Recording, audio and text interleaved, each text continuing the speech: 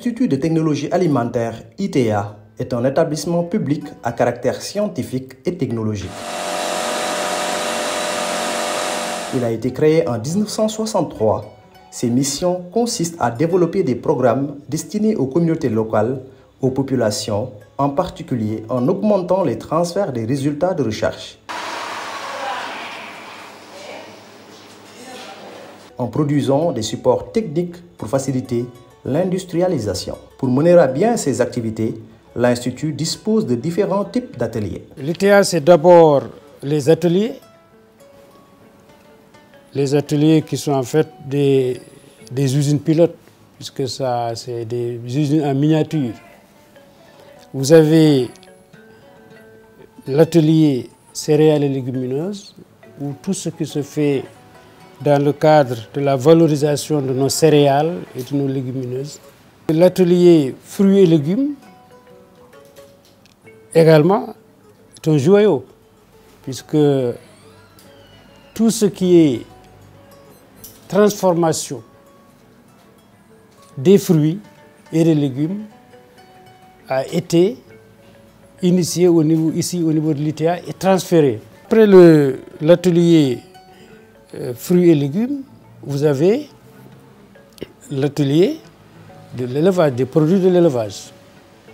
Donc vous pouvez transformer tout ce qui est produit de l'élevage, la viande, les œufs, etc. Le lait. En dehors de cela, vous avez l'atelier des produits halieutiques. Nous avons développé beaucoup de technologies et innovations qui aujourd'hui, il faut le reconnaître, ont été à l'origine soit de la création, soit au développement, n'est-ce pas, de plusieurs industries. Mais nous avons dit que ce n'est pas, pas suffisant. Parce que nous avons encore dans nos tiroirs énormément de technologies et d'innovations qui, il faut le dire, constituent un intrant principal pour, pour l'industrie. Le bissap de Kyrène, c'est l'ITA. Entre autres, le Val d'Afrique. Nous avons développé des résultats de la recherche qui peuvent servir aujourd'hui à la création ou bien au développement d'entreprises. Je vous donne un exemple. Aujourd'hui, nous sommes en train de mettre en œuvre un, projet, un projet de développement de compétences pour l'entrepreneuriat des jeunes, financé par la Banque africaine de développement et porté par le ministère en charge de l'emploi, PDCG. Alors, dans ce, programme, ce projet, sur les quatre ans, nous devons former 1000 jeunes, 1000, sur les métiers de, de l'agroalimentaire. Et nous devons, dans ces 1000, accompagner à la création et au développement de 250 entreprises.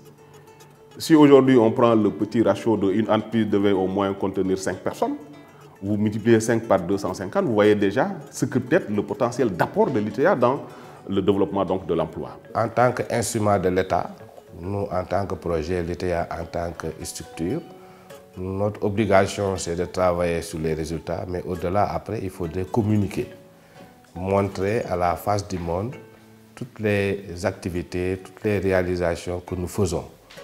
Et je pense que l'ITA a des missions très précises en termes de recherche, mais aussi il a des missions en termes de renforcement des compétences.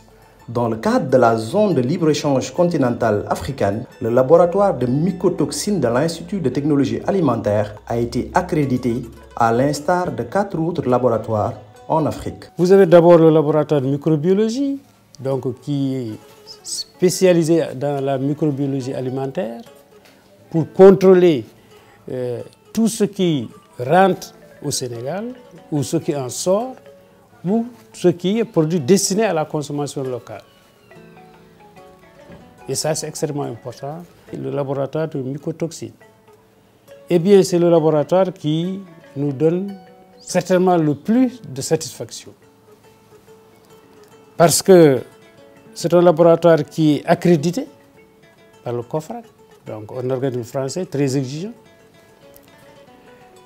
Dans le traitement donc, de tout ce qui est euh, aflatoxine. Il y a eu un appel d'offres au niveau africain, lancé par la commission euh, scientifique de l'Union africaine, pour euh, véritablement avoir sélectionné les laboratoires de contrôle de qualité dans le cadre de la ZELECAF.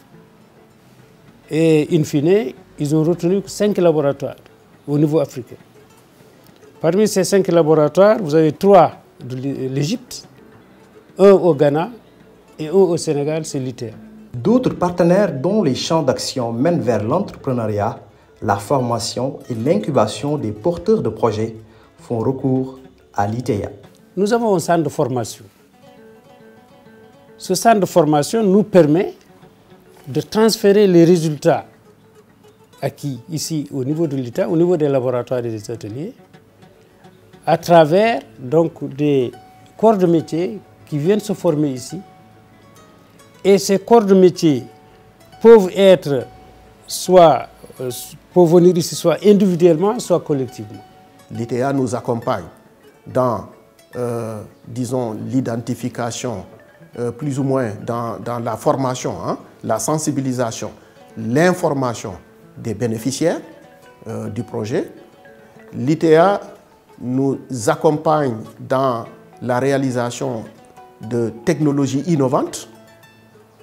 L'ITA également nous accompagne surtout dans tout ce qui concerne euh, les plateformes multifonctionnelles, tout ce qui concerne donc les aspects liés à la transformation des produits, etc.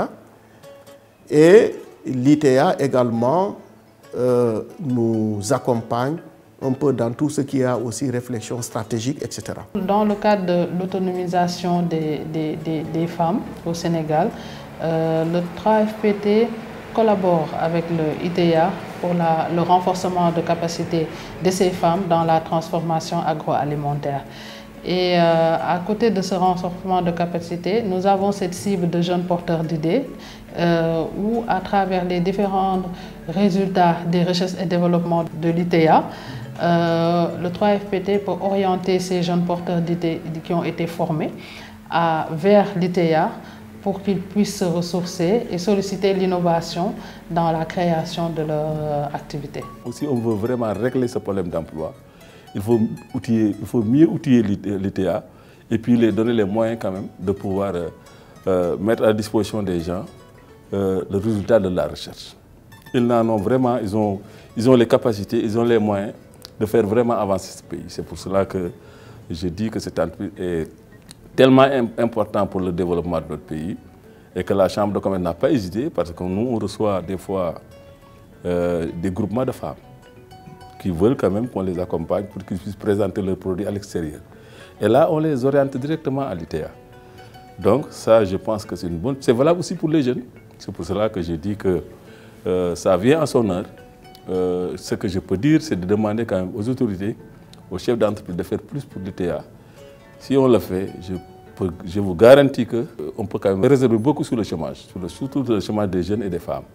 Parce qu'ils ont, ils ont quand même euh, des programmes qui peuvent permettre quand même d'avoir des, des débouchés. Nous comptons former 1000 jeunes et femmes sur les métiers de l'agroalimentaire. Et cet objectif sera atteint à travers une convention qu'on a signée avec l'ITA pour une durée de 4 ans qui doit nous permettre à terme donc de former ces 1000 jeunes et femmes sur les métiers de l'agroalimentaire. Mais au-delà de la formation, nous ambitionnons avec l'ITA d'incuber 200 d'entre eux. Le volet incubation, il est important parce que traditionnellement, on se limitait à la formation euh, sur ces métiers.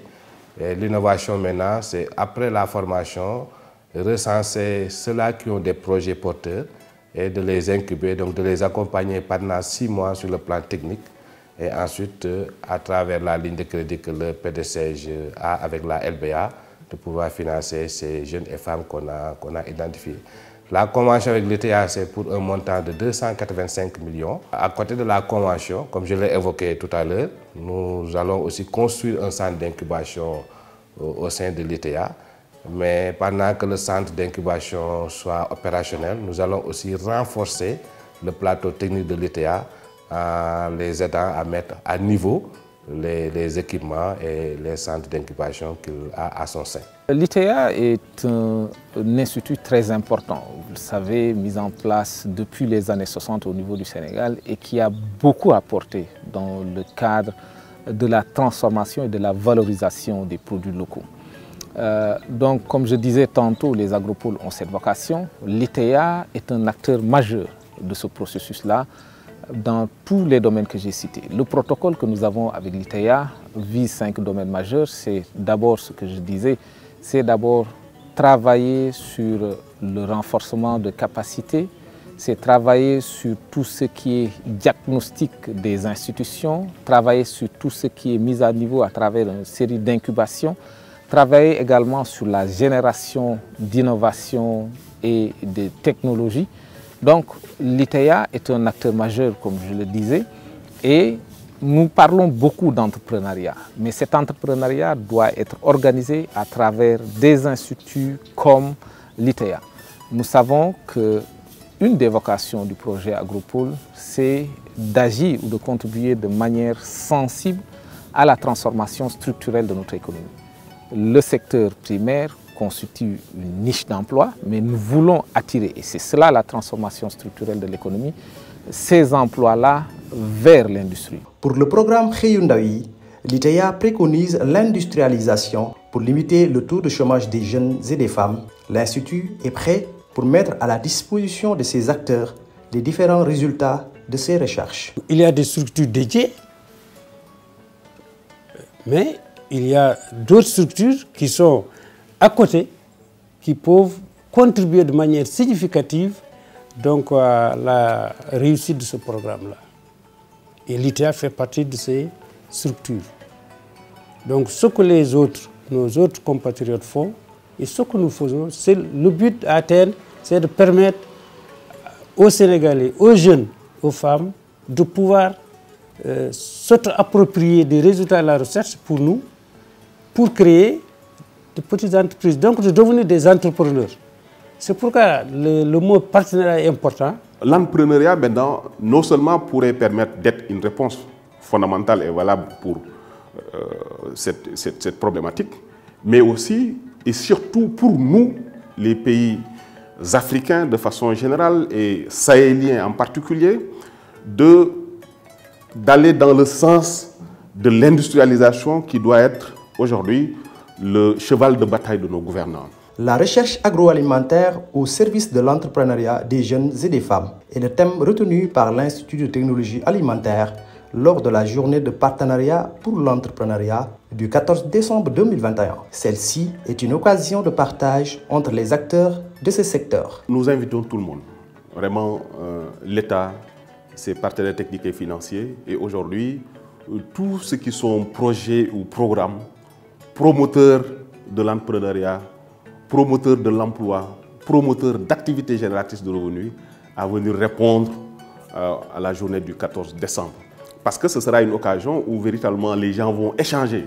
Échanger pour voir aujourd'hui qu'est-ce que l'ITA a comme potentialité. En venant vraiment euh, assister à ces journées, ont l'occasion de voir ce que vraiment notre pays est capable de faire en termes de consommer local. Moi, j'invite euh, surtout les jeunes porteurs d'idées et les femmes à participer à cette journée euh, pour pouvoir euh, découvrir hein, les résultats du, de l'ITEA sur la recherche et le développement euh, qui pourront stimuler leur, leur, leur projet de création d'entreprise. Si on cherche à employer les gens, il faut aller à l'ITEA. Ce qui nous manque, nous, en tant que producteurs, c'est quand même euh, l'idée de pouvoir faire avancer la chose. Et qu'au niveau de l'IDEA, ils ont des process, ils ont des formules qui peuvent vraiment euh, faire vraiment, non seulement embaucher les gens, mais aussi développer notre pays. C'est pour cela que lorsque nous avons eu cette information que l'IDEA veut organiser ces journées, donc nous avons dit, euh, on va l'accompagner. Non seulement pour permettre aux jeunes et aux femmes de pouvoir avoir des débouchés, c'est une journée très importante et ça vient à son heure au moment où l'État parle du programme Khayundaouni. Et quand on parle du programme Khayundaouni, le soubassement, c'est l'employabilité. Il faudrait que les jeunes qu'on va, qu'on va aider à trouver des emplois, qui puissent en amont disposer de compétences techniques et ça, c'est ce que nous faisons avec, avec l'ITA. La journée du, du 14, cette journée euh, sur l'entrepreneuriat qu'organise l'ITEA est une bonne occasion de vulgariser le travail que fait l'ITEA. Donc je dis que depuis 1963, l'ITEA travaille au développement des sous-produits ou des produits agricoles que nous avons. L'ITEA a beaucoup apporté, donc c'est un moment d'échange très fort, de vulgarisation euh, du travail de l'ITA, mais également de mise en relation de différents acteurs. L'ITA demeure un outil incontournable sur lequel peuvent s'appuyer le gouvernement, les projets de développement, le secteur privé entre autres, dans la quête de l'auto-emploi et le renforcement du consommé local.